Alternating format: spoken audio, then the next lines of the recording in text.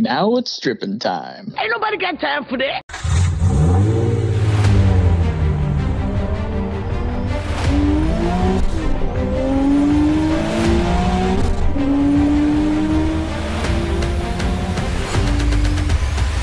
This is Hard Parking brought to you by Right Honda and Right Toyota out of Scottsdale, Arizona. I'm your host, Jhae Pfenning, reporting from my home in Gilbert, Arizona. Coming up on today's show, Marcus of Heeltoe Automotive brought his son Mateo. They hung out for about 40 minutes or so, and we talked about Heeltoe. They're in town for baseball. This was a few weeks ago during the World Baseball Classic.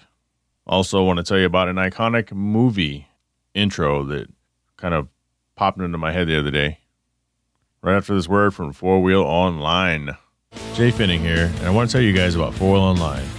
For over a decade, Wheel Online has been bringing the best truck accessories and truck parts to enhance the appearance and performance of all trucks and SUVs. They are dedicated to providing an extensive range of upgrades that will match any maker model on the road. Their truck products cover everything you need to give your truck a custom look and added functionality. And if you need a tire and wheel package, head over and use the configuration tool. They carry all the major brands of wheels and tires, so go get outfitted today. So visit them online at Four Wheel Online or call them at 813 769 2451. Again, that's Four Wheel Online, the number four wheel online. So, a lot of you guys know that I really love movies. I'm kind of a movie buff. I don't know if I'm a movie nerd, but anyway, the other day I was on work chat and a coworker had said that uh, his day was terrible, and he goes, "Someone, pl- please tell me I'm going to be okay." So I put him, sent him a message, and I used a line from Reservoir Dogs. I said, "You're going to be okay. Say the goddamn words. You're going to be okay." And of course, nobody knew what I was talking about. I could just tell because I killed the chat. So I sent him the clip, of which he enjoyed. But it made me think about how great of a movie, old school movie, The Reservoir Dogs is. I used to have it on VHS and I I kept it on continuous play in the corner of my room. I had a TV. I hung a TV up in the corner of the room back when it was seemingly kind of cool to hang TVs. And they weren't flat screens. We had no flat screens back then. We're talking late 90s. But every time I turned the TV on, there was some part of Reservoir Dogs on. That's if I didn't have my Super Nintendo plugged in and on, of which I left Tecmo Super Bowl 2 on there as well. So some of you can definitely uh, jive with that. But that opening scene where they're in the diner is a brilliant opening. I don't know, was it 10 minutes of a movie? All the conversation between Joe going through his phone book, uh, Madonna's Like a Virgin breakdown from Mr. Pink with tipping. And that entire scene is just mind blown because they do this big circle of conversation. And as the camera kind of slowly rotates around in the course of this opening 10 minutes, there's just this constant this group talking, this group talking, these guys talking to each other across the table. If you haven't seen Reservoir Dogs, again, this is an older movie. This is one of Quentin Tarantino's first, if not his first. I don't know if it's his first or not. This is his first that I saw. Big movies that came out before Pulp Fiction, which most people think was his first big movie. You got to see it. It's a little violent. It's very Tarantino, so it's not. I don't know if if that movie could. Well, I think it could hold up today just because it's Tarantino, because he kind of gets like a green light of being who he is. But you have to see it. So if you haven't seen Reservoir Dogs, watch it. If nothing else, do yourself a favor and go watch the first 10 minutes or so. Basically, the opening scene. You'll know when the scene concludes, but you might be hooked and watch the rest of it.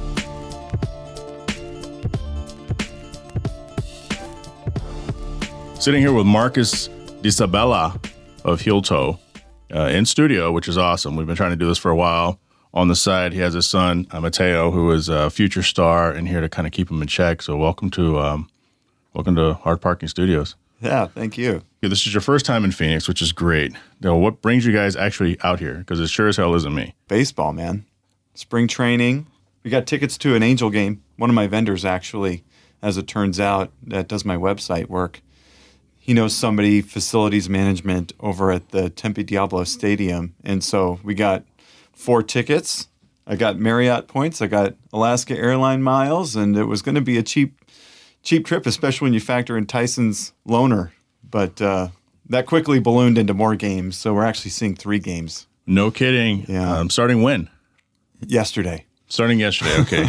Yeah, we saw the uh, the Dodgers just barely beat the Angels at the Dodger Field over there, and tomorrow's World Baseball Classic against Mexico, USA Mexico. Oh, no. So that's going to be off the chart. you were mentioning earlier that's I mean nothing's available. And then when you try to use your points and they say you're not allowed to use your points, that tells you that there's, you know, something big big going on. I didn't know about the baseball classic. I'm not a huge baseball person, don't kill me. But, you know, living here, we know that like half the teams are here every spring and I got used to that being out here. Are you going to two of the World Classic games? We're going to the World Baseball Classic game tomorrow, but the uh, other two games are spring training games. Still with the Angels? Yeah, Angels, Angels Mariners on Monday, and we just barely squeaked into some tickets to the Dodger game yesterday against the Angels at the Dodgers facility, which I don't know. We drove by the Angels Tempe Diablo versus the Camelback uh, Ranch, and I think the Angels got him beat on facility. Well, you know, then I think the nicest facility might be the Cubs, which is uh, it's I I call it Tempe, but it's technically Mesa. It's right on the 101 and 202. So when you're kind of going back to where you're at, I think you're going to go that way, and it's to the right. As you go up on the 101 and get on the 202 before you go to downtown Tempe, which is in the general area you're at, you can see it on the right. And um, I forgot what it's called. My wife was just there yesterday watching a Cubs game for work. She doesn't know anything about baseball either. I know a little bit. I follow. I'm a diehard sports guy, um, but and and I think the spring training games are actually a lot of fun. yeah, we had a great time yesterday. Yeah, they're super chill, super relaxed. Uh, went to a Diamondbacks game when I first moved here because you know this right downtown. Have you guys had a chance to drive around and do anything? Sightsee? No, I mean we just got in yesterday morning, and Oh, we right. went Okay. straight to uh, Tyson's place, and straight to the game, and then uh, came back uh, to the hotel, and that that was our day pretty much. Had dinner with um, with a couple of guys last night, but we really haven't done much of that. That's why I was a moment late getting here because we did a drive by the uh, I mean, you guys were five minutes or whatever. Like you were barely late. You know, like yeah. we run on Hawaii time around here. That's good. Um, so Tyson, everybody comes into town to see Tyson's collection. What did you think? Oh, I thought it was great. It's pretty cool. Yeah, his cars are all very nice. Uh, the garage is very nicely set up. It was funny because we got to his house and I told Mateo, I said, he's got a garage like ours, right? Because, you know, we've got quite a collection of cars too. Although Tyson's garage arrangement is quite a bit different than mine. You know, I could tell that he doesn't do any of the work on his cars in that garage.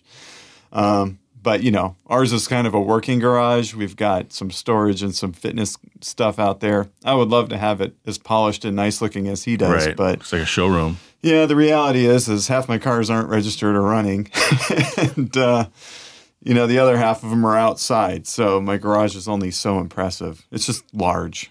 So Tyson's a little, he's a little insane. You know, he's he's, he's a one man shop, moving these cars around all the time like little Tetris pieces to get to one. It's I don't know, I don't know how he does it. And then he has that extra space on the other side of the garage too. Mm-hmm. It's like Yeah. his his overflow storage. And then did he tell you he stores at least one car at Acura of Tempe? Mm, yeah, well, I didn't see a couple of cars, which you know he did allude to that they were elsewhere. Yeah, the So. S two thousand is at Acura of Tempe, and any, at any given time they have two of his cars. That's where I bought my NSX. Um, so, Hmm. what do you have? What do you have at home? Well, my probably my number one is my TSX. I have a 2004 TSX that I've completely customized, custom paint, interior's been changed. Um, actually, the engine is pretty stock, but for the most part, it's kind of my most invested in car. And uh, my wife has an S2000. Um, we have the NA1, NSX Silver. I got a 2010 TL six speed. That's kind of our daily runabout, the airport car, so to speak. Um, I've got an 85 CRX, which is kind of a neat car. That was a gray market import that Oscar Jackson brought in in 1986. So I'm doing sort of a resto mod on that. That's taking way too long. He brought it in in he eighty six. brought it in in 86 as a new car.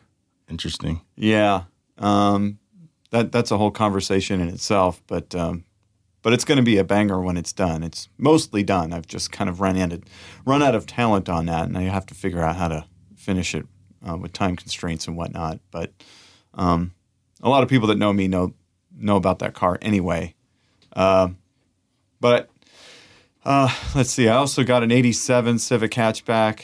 Well, we got the Type S, of course. Uh, we got the first one that Tonkin Acura had brought in. We got their demo. That's the TLX Type S. TLX Type S, yeah. Been playing with that for a little while.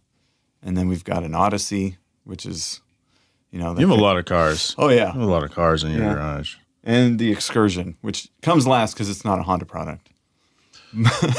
But it's bigger than anything else that you've mentioned. Uh-huh. Well, yeah, because for towing. right. Yeah, that's the only reason why I have that. Now, do you have like a big space? Do you have like a, is it like a pole barn type setup or is it like we have an attached to your RV house? garage. Okay. So oh we, my God. when we so built nice. our house, Must be nice. um, it was new. It was a new construction, and so it came with a three car tandem, Mhm. and then we just bumped out the side with an RV garage.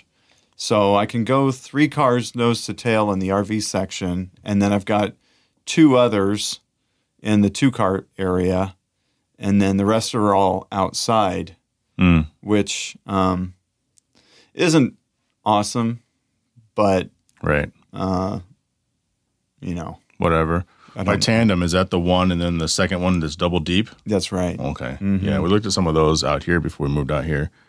So, what, two years ago? Is that when we met? Two and a half years ago? Was, was, was it Portland or before Portland?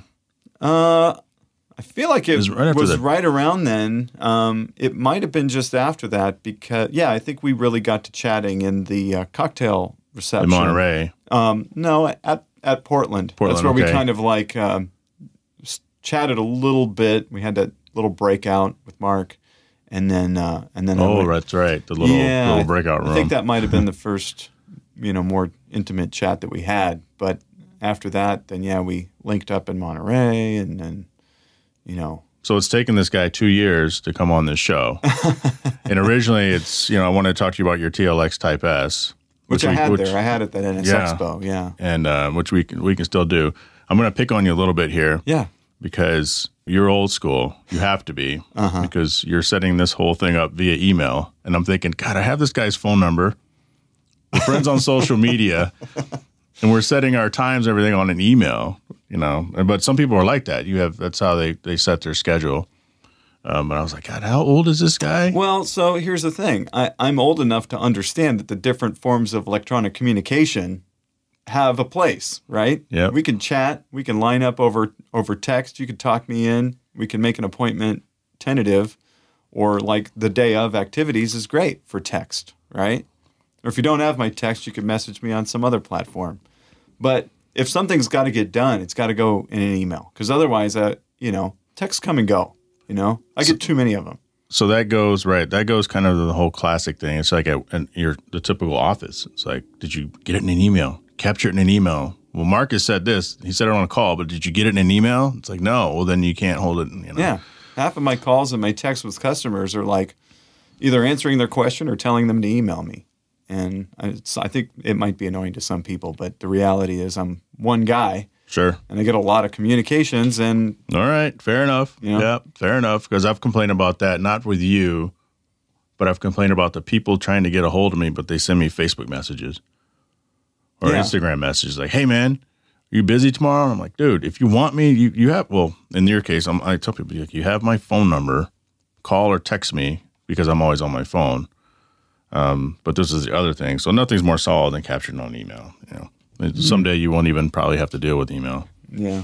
That's how uh, that's how this world. Was, and I'm talking to Mateo over here, and he kind of snickered at me, like you guys are so old and antiquated.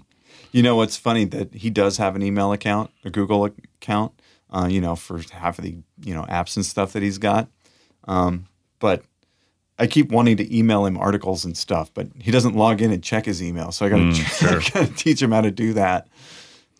I tell you, man, it, it's interesting that that dynamic in dealing with younger people, and it's changing so so quickly. You know, like my kids are pretty much grown. Well, they're grown, and even my son, he's kind of an old soul, so he's kind of antiquated like that. He's always been. My daughter's like, you know, she's she's moving life at 100 miles an hour and you know if you want to get a hold of her for anything you have to send her a text like i'll never send her an email for anything because i know that she doesn't you know communicate that way so i think it's just kind of trying to adjust to what works. Meanwhile, my grandson, yeah, I did say grandson, he's watching stuff and he's like, "Hey, I want to see monster trucks." You know, I'm like, I pull up monster trucks on YouTube, and before the first one jumps, he's always cli- he was already clicking on one of the other previews. Yeah. You know, I'm like, dude, that's clickbait. You see it jumping, then you have to wait for it to jump. You know, and he's just like, bam, bam, bam. So it's it's uh, pretty nutsy. Yeah. Yeah, it is. It is different. We've gotten my older son acclimated to the email pretty well. He's come I was just learn. getting ready to ask if Mateo's the only. No, no, I have a soon to be 17 year old also. He'll, he'll be 17 next month. Actually, taking his SAT today. Okay. Um, but yeah, just in organizing that, some of the other things that he wants to do, like you got to email, right? We'll send him, you know, the teachers email out stuff. Yeah. They, they'll yeah. email us, but it's like email him. You know, he's the one that's got to do it. Right. And uh, you know, he's well, he's gotten better at, at working with email. You know, and which is good. But he won't he won't go near um, Facebook at all. He's just staunchly against it. How are you on social media, just in general, I do it because I have to at this point. for for the business? Yeah, for the most part, and Yeah. also it is a good way to to just sort of share experiences and things. And so what I'm finding now is a lot of, you know, you get a lot of joy in some of the things that you shared that Facebook reminds you that you did seven Yeah. years ago, whatever. And so I do try to drop just sort of breadcrumbs of fun things like this trip and whatever. We're, I'll be posting some of it up because at some point it would be nice to have it flashed back again. But I think that's probably the best thing that I'm getting out of Facebook right now. But um, I don't know. I think that there's a I don't know. There's a there's a practical limit to what these platforms are really good for, Right. And it- the more and more they try to turn them into like, you know, marketing enterprises or like advertising platforms, you just really are losing the purity of what you really want out of it, which is the communication with other people.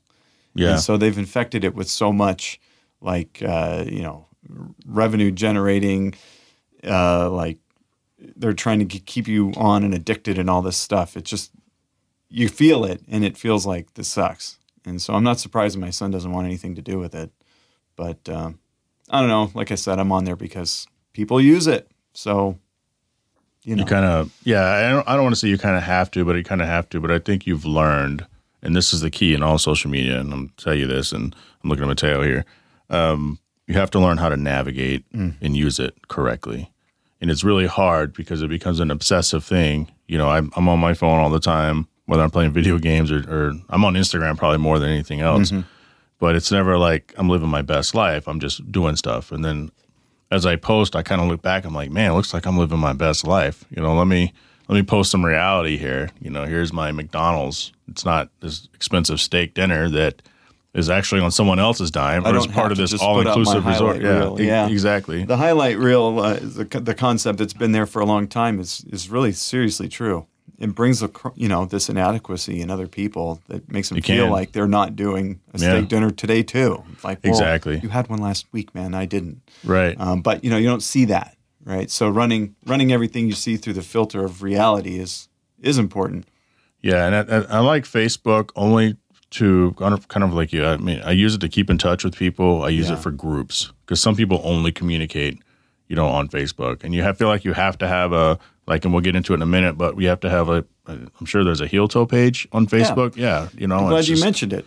Yeah. got taken over by somebody else last September. We got kicked out as admins, and it's been showing like Cosby Show reels still.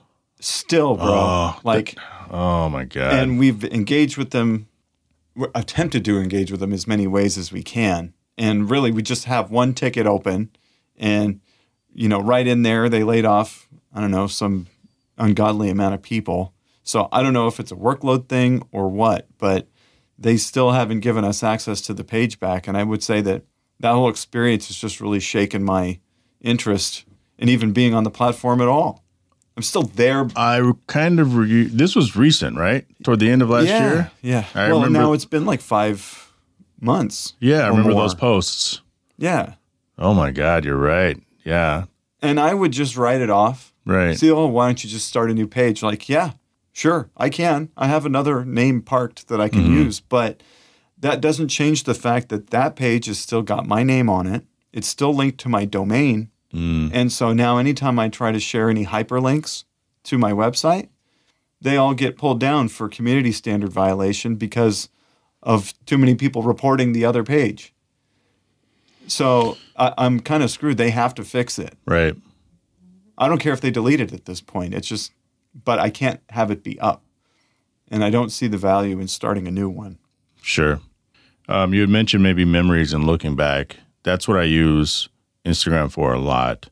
And it is fun every once in a while I get a Facebook. This is what you were doing 10 years ago. And I'm looking at it. It's like, what the heck? I actually Hmm. deleted something the other day that was brought back as a memory. I go, man, I was making fun of this situation 10 years ago. I don't, don't want really that to keep popping that. up. Let me go ahead and delete this post. And it was, it was, it wasn't, I mean, it's borderline cancel culture stuff, but I try to be, you know, really, you know, headsy about the things that I post.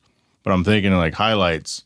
I'm pointing to a picture of Izzy, the dog, at the end of every episode up there because he passed last year. And then on my my travels page Instagram, I started creating a highlight reel for him probably seven years ago.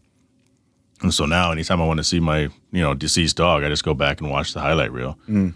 And so you know that's kind of the good of some of the social media, and it just kind of goes back to you know however you want to use it appropriately. Let's talk about toe. Well, first, tell me about your TLX Type S. Let's go back to two, year, point, two years right? ago. Yeah, originally, yeah. Yeah. Well, we bought this car. Um, well, I was there at the at the concept reveal, the Type S concept, and everybody was just enamored with that shape and the design language, and uh, and the whole thing. Um, man, they really knocked it out of the park. I think with that design concept. That was And a then- blue car. the blue car, Yep. yeah, in Monterey. And then um, when that became the prototype and then the production car, I could not believe how close to. I mean, you never see a production car look as much like the concept. Now, granted, they had to change a lot of things, and we all know the the menu. You know, you can't have 22 inch wheels, and there has to be a bumper behind Sure, the bumper and all that.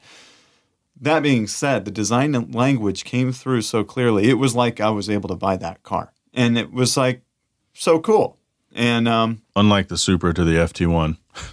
yeah, I mean, I don't know. I don't really pay attention to the other cars. Okay. Hondas yeah, based on your garage, it sounds yeah. yeah, I don't really care about other cars. Uh, I What are you have, teaching this kid? well, right now I'm teaching him baseball stuff, All right, good. but I'm learning that too. So he's teaching me how to be a baseball dad. Okay. we're, we're, we're learning how to hit. That's what we're learning over here. So uh, that's, the baseball itself is a whole other conversation. But uh, but yeah, no, I I I really liked the way the car looked, and being in the business of Honda and Acura parts, and becoming more and more Acura over time. That NSX really kind of plunked me into this whole other world that y'all NSX guys are sort of like, you know, level up Honda Acura people. Um, it was kind That's of good like point. yeah, it's a, well, it's a different community. I've been in Honda Acura community since I could drive. Right. Um, you know, in the mid '90s now. But uh, but getting the NSX, it's kind of like, well, there's a whole other group of people that is maybe more NSX than the rest of the lineup. But really, actually, the kind of credence that Acura gives the NSX group kind of um, exposed me to a little bit more of what you know some of the workings of Acura is about.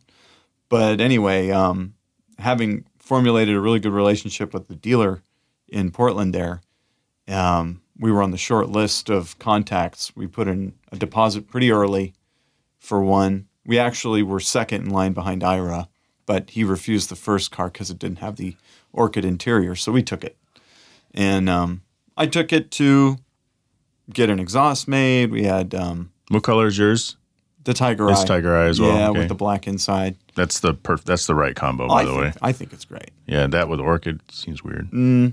Yeah, I think the Orchid is probably good for some people, but not me. Right. Um, yeah, so we, we got it mostly because we wanted to develop some stuff for it and just have the new.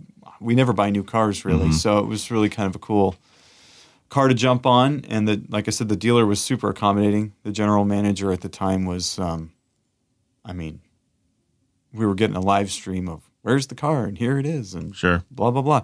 And uh, given that it was their demo, we couldn't actually take delivery until sometime later. I think it's like sixty days. Um, but he actually let us have the car for most of the time anyway. So I think I kind of remember that. So Yeah. how is it?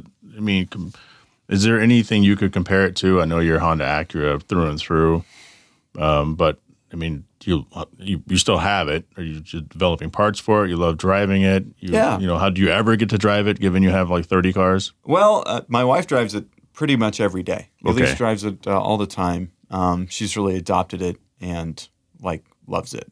Um, but we did, I did have it in California for the better part of a year, getting some Mm-hmm. stuff developed, and we do have. Let's see, we did springs with Tein, and we did our own exhaust, which just got released, and the exhaust system so far is has gotten some really good feedback. Um, I'm doing a spoiler for it now too, sort of a ground up design, and that I think is going to be pretty neat. I don't know how much I'll do beyond that. Maybe some more carbon stuff for the outside. So it's more OEM plus with some nice with It's kind other of our things. style yeah. anyway. Yeah. You know, I'm not really. I don't like doing garish sort of trendy things. You so know, no no Rocket Bunny TLX Type S in your future. No, uh, I know how cool people would think that that would be, but ultimately, that's just some yeah, Yeah. peop- people. Yeah. You know, but uh, you know, I'm not I'm not trying to put cars together or parts or catalogs together for five percent of the people. You know, Right. And also, the exhaust system was a big investment for us. It's Sure. the most complex one we've ever done, but I'm going to be selling it ten years from now. So, you know, we have TL Type S exhaust systems that we still can't keep in stock from the 0708 model Nice. and you know thinking farther down the line like not everybody wants like some garish over the top thing Yeah, I agree. So talk to me about Heeltoe. yeah well we're an e-commerce honda acura parts company i started in 2002 just sort of It's been a while. it's been a long time there's a few companies that are older than mine that are still around but not that many Right. but we've been um, on the smaller side and sort of slow growth kind of thing and we've never had a year of retraction except for i would say after covid we boomed in covid and things kind of got a little more Weird, right? People either like completely sunk or they flourished. well in our industry it didn't surprise me at all because you got all these people who Sitting around. first of all aren't shy about spending disposable income Right. even if it's not actually disposable any recession that i've been through has taught me that people that buy car parts don't buy them yeah it's a necessity modifying a car like right. it helped me understand that what i add to the world and the economy is motivation for people to work and earn money so that they can have fun with things Mhm. you know it's kind of a long way to get around to what do you add to society nobody really needs a souped up exhaust system but sometimes people do to get them in the car to get to work you know Right. so reality is that if you do a good job and you have a good product and you provide good service, you won't have problems selling stuff in hard times. But here we are in a market where everybody was told literally not to drive their car. And by the way, here's a bunch of extra money. Sure. And um, and it was already springtime at that time. Yeah. And so that's our biggest season anyway. And it was like overnight. I mean, we got a deposit in our account, and I said, dude, I need to send out an email blast like tonight. I sent one out, and it was like a light switch. Um, sales just skyrocketed. So you didn't squander it, you used it to flourish. You're you're a, you're a, Well, we never shut only a down. few percenters. We Yeah. never shut down at all. We were we were considering ourselves an essential service as providing automotive par- Sure. parts, Yeah. transportation support, and then we're also a UPS access point in our local community. And because UPS Oh, was nice. a UPS was a uh, essential service, also we had to stay open. Mm-hmm. Yep. And um, yeah, we worked harder than ever. Yeah. So because of that, you know, we had a banner year, but you know, it pulled back after that. That's the only time that we really had gone down in sales. But, you know, these really slow, confident, but firm steps forward have kind of kept us slowly on a growth path. And, and, you know, we look now and it's like, well, it's a pretty substantial business that we run. Um, we're pretty well known now. It's been long enough that I've had people shop with us in the middle 2000s, have a family, get to middle age, and then circle around again to start. God, you guys are still around. This is Yeah, awesome. Absolutely. I've got people who who are just logging in now that were customers 12 years ago, and it's just really cool that they come back and uh, and are just really happy to do business with us again. Let me ask you this: You're the, you're going to be the first person I've asked this to. I had it jotted down in my notes.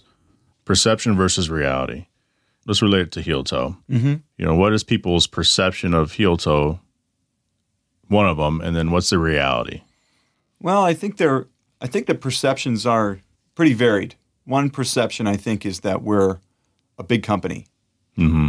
I mean, you've been around since 02, but We've been around a long time. The website's fairly well polished. It sometimes is a little bit clunky acting, but just we, don't go to Facebook to get we're always to you right. guys. Yeah, don't go to Facebook. Some yeah.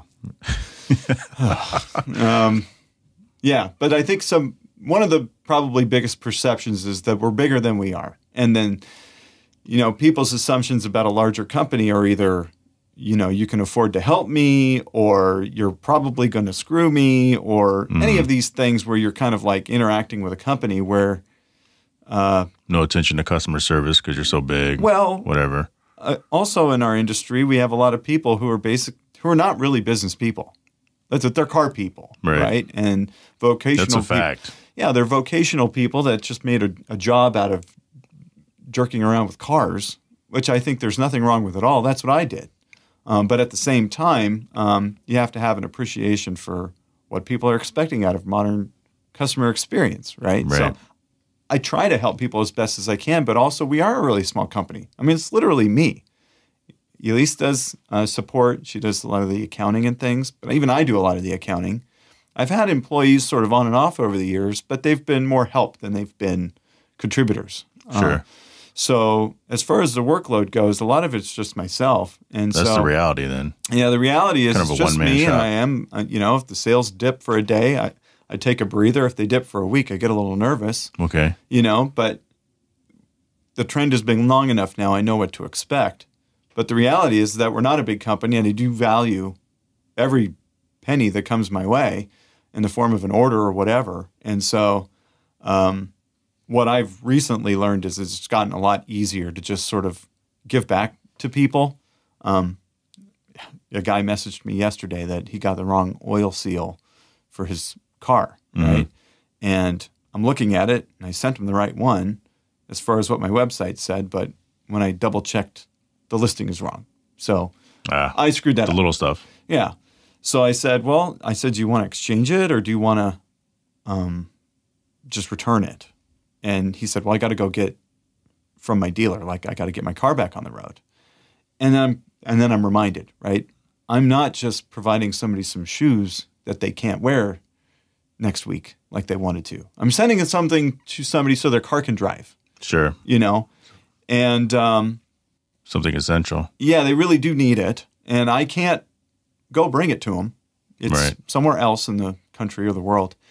So, not to be offended by the fact that somebody had to go and make it happen to get their car running. That's that's part of our hobby, right? And if I can't execute right on it in the first place, then I just took the whole loss, all of it, right?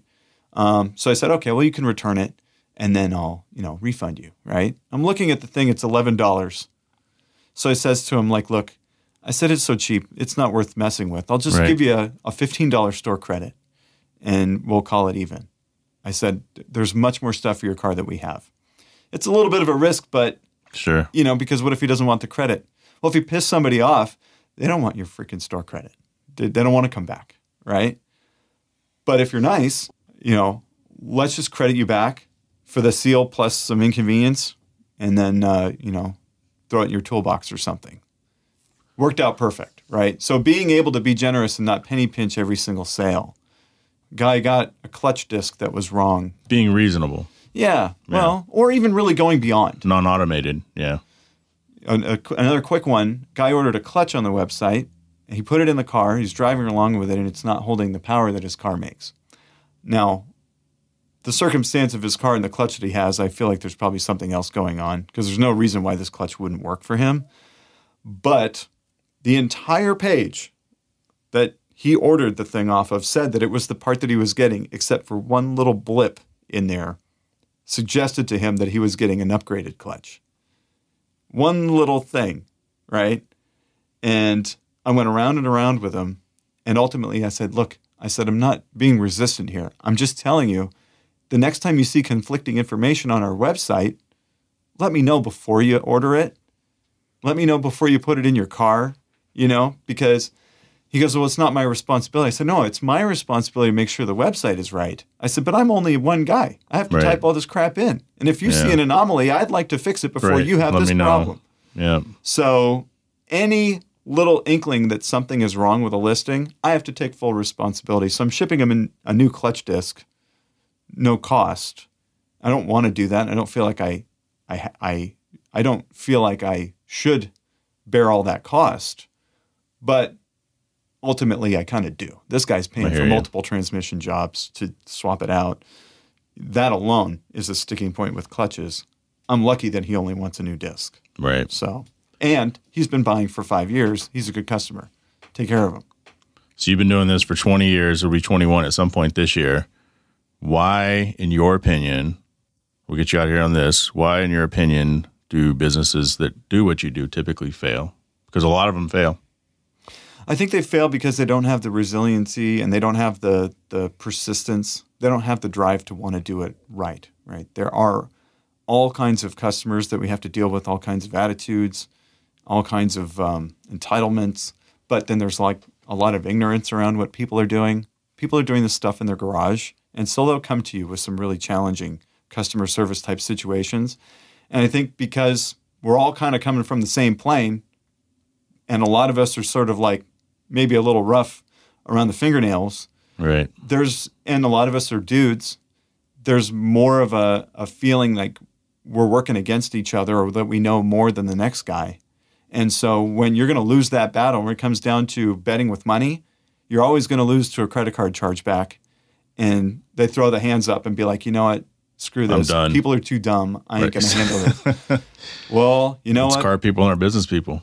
Because car people aren't business Yeah. people and car parts customers they're not buying these are emotional purchases Yeah. highly emotional purchases and if you can't connect with that if you can't tap into the emotion that's behind it and understand that when that person received whatever they got they went to a really high high Yeah. and if something went wrong they go to the lowest of lows and even worse they might not be able to drive their car which was Yeah. the whole point so if you can't weather those storms then you're going to give up Yeah, it's the my hand my custom handmade part doesn't fit my car right. You guys, everybody, these parts don't fit.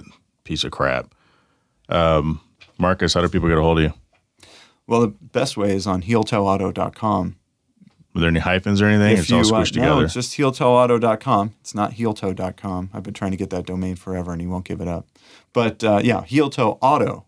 Uh, dot com. if you're on your if you're on your phone, the contact page has a click to call, click to text, and that goes straight to the phone in my butt pocket. Is there any social media for it outside of obviously what we've talked about, the crappy page? Yeah, we do exist on Facebook, um, but uh, Instagram is a little bit more of a personal platform. Uh, we have a YouTube. I've been trying to work on the YouTube. Um, some of our videos are, are doing pretty well there too. Really, honestly, email, call, and text is probably the number one. Call me old school, I guess. But people do message through those other platforms. Facebook Messenger I use all the time. Sure. You know, that hasn't, my Facebook presence hasn't been impacted at all. Right. It's just the business page. right. Yeah. So yeah, there's many ways to get a hold of us, and I field all of that. Marcus, Mateo. Mateo's over here bored. Like, can we get the hell out of here, please? Thanks for uh, officially coming into Hard Parking Studios. Yeah, man. I'll be happy to come back if I'm in town.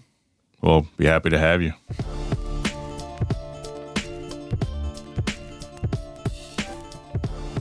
That conversation, of course, was brought to you by the Cell Shop, an Arizona-based retailer that tries for your destination of choice for wireless services, whether Arizona, Washington State, California, Texas, and Florida. They are an authorized AT&T dealer, so visit them at cellshop.us and get connected today. I want to thank Marcus and his son Mateo for stopping by the studio. It's kind of funny regarding Reservoir Dogs, going back to the opening. So my first car was a 1976 Oldsmobile Cutlass Supreme, four door.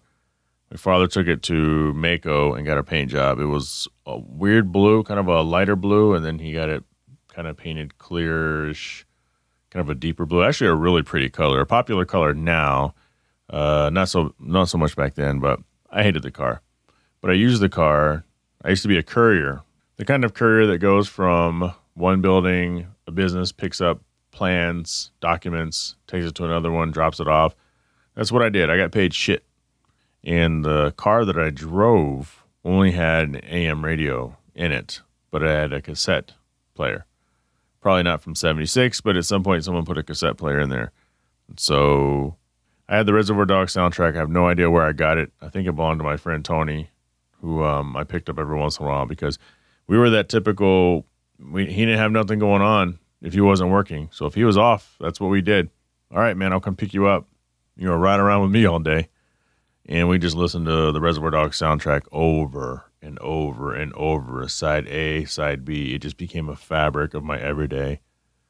It's an interesting soundtrack. You should check it out. Had an awesome conversation with Mike Jimenez of Jada Toys. That's going to be coming up in a few weeks.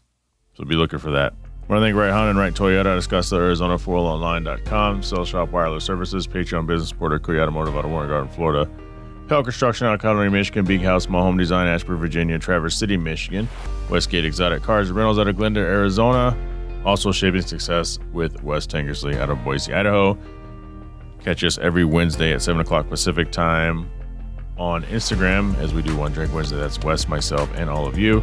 If you're in a position to help the podcast upgrade, you can join the Patreon for as little as $3 a month to get access to bonus audio as well as show swag. Mark Stoneman, Captain Cox, Eddie Ramos, Richard Graves, Byron Jones, Bo John Gallis, Mina, Andrew Buckley are my Patreons. Thank you so much for your support. And if you want to pick up a Hard Parking Podcast shirt, email the show at hardparkingpodcast at gmail.com or just order it from hardparkingpod.com. Follow me on Instagram at JhaePfenning. Join the Hard Parking Violations Facebook group. I can't grow without you telling the world how good the show is. Let's do this. Let's grow this thing together. And I will talk to you all next week. Shut up!